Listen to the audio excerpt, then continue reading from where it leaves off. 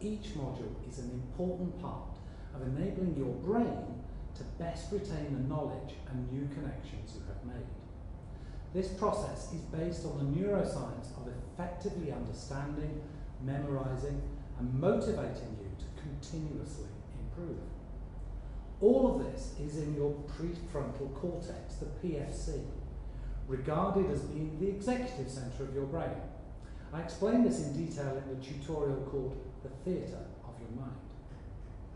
By identifying three specific things that you have enjoyed and or learned from the module, and one thing you will do to change and improve, and overall, what you have learned or enjoyed. You empower your PFC to enjoy a dose of the neurochemicals dopamine and serotonin. These are your happy chemicals.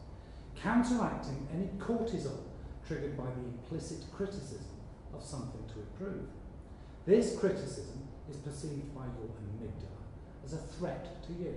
Typically, an improvement is translated as I could have or I should have, and triggers cortisol, which raises your heart rate and may induce the fight or flight response from neoepinephrine or noradrenaline production. That is, an improvement causes the fear response in the body. You may get defensive about it, or you may ignore it, neither of which leads to the change and improvement desired. But when you sandwich this criticism between feedback that is specific, positive, and general for your brain, results in your PFC accepting the criticism, ensuring understanding and a decision to improve. It is a deceptively powerful review process.